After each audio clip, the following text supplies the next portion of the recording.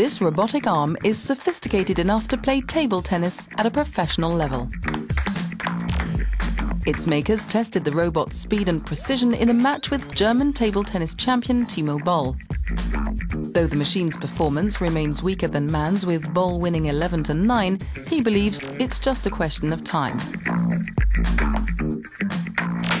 Table tennis is still a very complicated sport with a lot of rotation and um, the, the actual sensors and logic is maybe not that good as a human being, but maybe in the future uh, robots can be real competitors for us. The ultimate aim not being for the robot to compete with a world class table tennis player, but to take on industrial jobs requiring a high degree of precision in what could change the face of the automation industry.